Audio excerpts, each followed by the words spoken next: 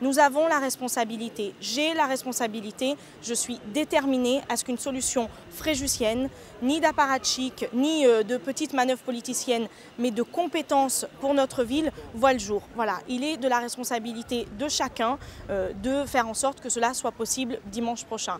Je travaille dès aujourd'hui à ce rassemblement.